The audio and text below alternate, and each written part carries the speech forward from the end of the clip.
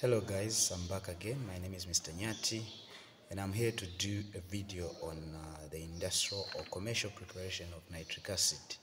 And uh, before I go any further, may I just say please uh, subscribe to my YouTube channel and click the bell button, the, uh, the bell button so that uh, whenever I post a new video on this channel, you will be the first person to receive it and uh, let's get started. So the first thing that we need to know is that uh, the industrial preparation of uh, nitric acid, the name of the process is called the Ostwald process.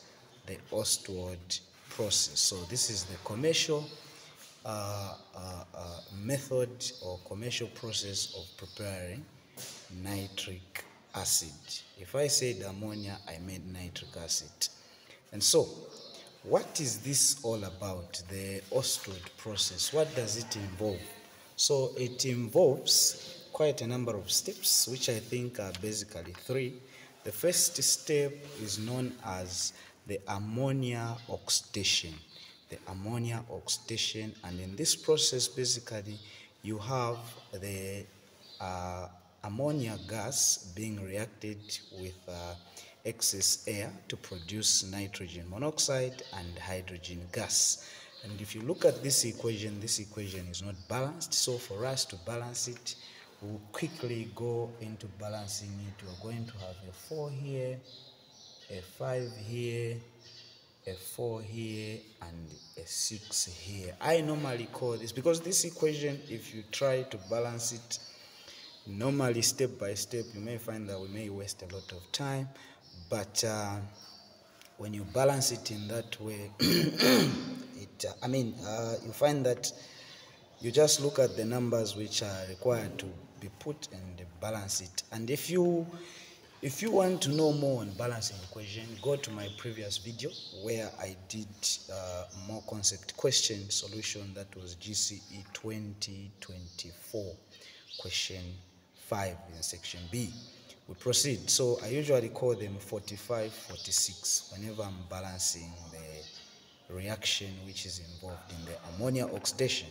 So now in this uh, reaction, what we need to know is that there should be some conditions that should be met. And these are two conditions, catalyst and temperature. Why am I not saying three including this? Because three, I mean the pressure is done before this, these two or before this process takes place. So the pressure uh, uh, uh, the, the, it is done, or the, the pressure part is takes place when the compression takes place before the reaction of this. And so these are the two conditions which you will be asked in a question. And so you have a catalyst, which is an alloy of platinum rhodium and uh, the temperature ranges basically from 700 to 900 but uh, you pick this as your answer when you are asked a question. This is the first process which we are the first step which is ammonia oxidation. What is the second step in ammonia i mean in nitric uh, uh, uh preparation using the Ostwald process?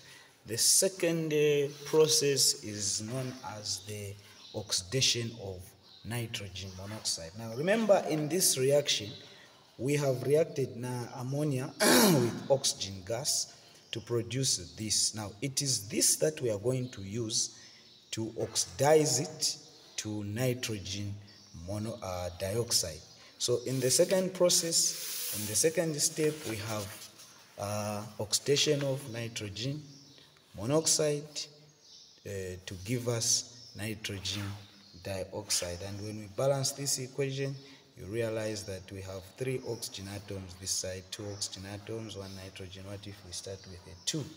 And then we're going to have two nitrogen atoms, four oxygen atoms. This will uh, uh, tell us to add a two here, where we're going to have uh, two nitrogen atoms, two nitrogen atoms, two oxygen plus two, that gives us four on the reactant side, and then this 2 times 2 gives us 4. The equation is balanced. And this is the equation that you are required to know. And so, in the first step, we had the oxidation of ammonia, where we reacted ammonia with oxygen to give us nitrogen monoxide. and water. And the nitrogen monoxide that, uh, that was produced, we use this nitrogen monoxide to react with uh, oxygen to give us nitrogen dioxide. And then in the third step, we are going to use the nitrogen dioxide, which we have produced in the oxidation of nitrogen monoxide.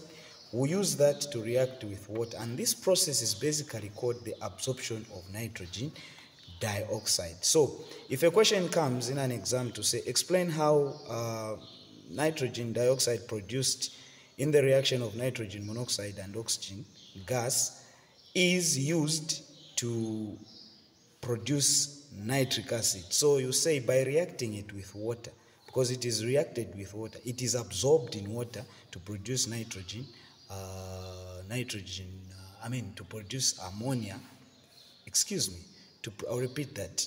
Nitrogen dioxide is reacted with water or absorbed in water to produce nitric acid and nitrogen dioxide. Now we need to balance this equation. And we can balance it by looking at this the way they are.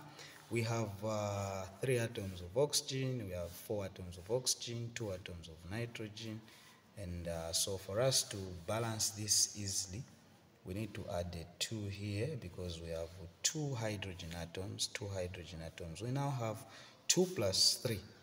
I mean 2 plus 1, this gives us 3 atoms of nitrogen. So we add a 3 here. Then we have a fully balanced chemical equation. This is how nitrogen, I mean this is how uh, nitric acid is produced. Now, this nitric acid that has been produced is usually 68% uh, concentration and it cannot go beyond that by boiling. Why? Uh, what you need to understand is that when, uh, when, when nitric acid is being uh, produced, boiled at, uh, uh, at a certain temperature, you realize that the concentration doesn't go beyond 68%. Why? because it forms an azeotrope. Now, what is an azeotrope? An azeotrope is basically a constant boiling mixture. So this sim simply means that the solution boils without change in concentration. So how can you further purify this? How can you further have uh, more concentration? You can use the process of distillation and by using either uh, sulfuric acid you use sulfuric acid or magnesium.